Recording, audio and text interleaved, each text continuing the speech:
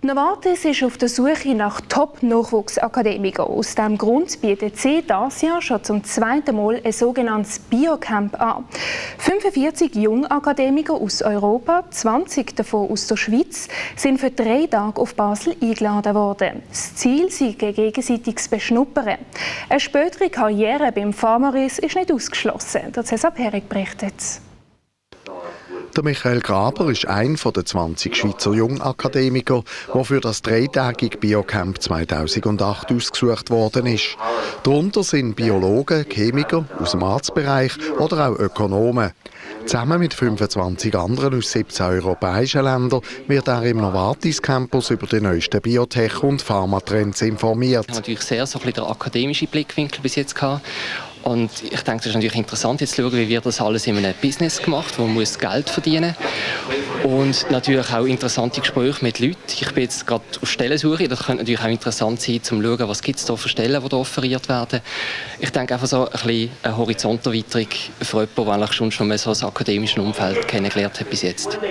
Eine Jury unter der Leitung von Professor Paul Herrling, Leiter von der Forschung bei Novartis, hat ihn und die anderen aus einer grossen Zahl von interessierten Studierenden Studierenden ausgesucht.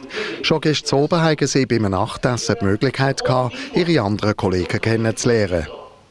Das sind ganz lässige Leute. Also wirklich lässig. Es ist eine ganz internationale Crew, die da zusammengewürfelt worden ist.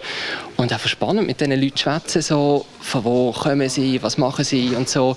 Wir haben alle, ich würde mal sagen, einen relativ ähnlichen Background, so im biochemischen Bereich. Bereits zum zweiten Mal führt Novartis so eine Biocamp durch.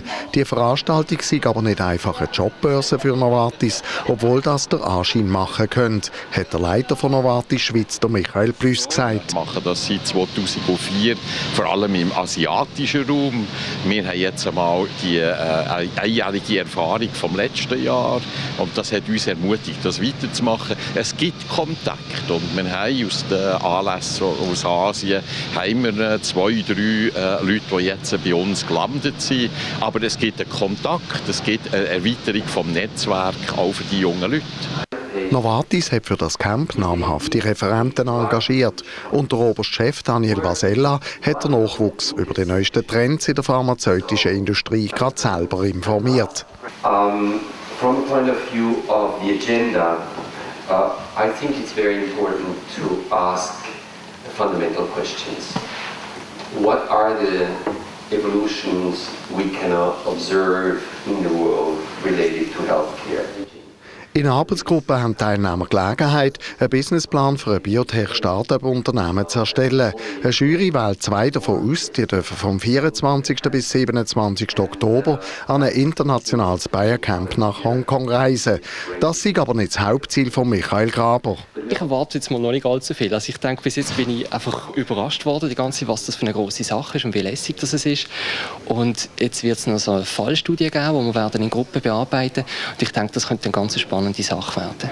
Für den Schweizer Novartis-Chef Michael Plüss sieht das Camp hier in Basel eine gute Gelegenheit, mit jungen Akademikern in Kontakt zu treten und ihnen das ein oder andere auf den Weg geben. Er selber hat so ein Camp als Junge gern mitgemacht. Ja, das war absolut super gewesen.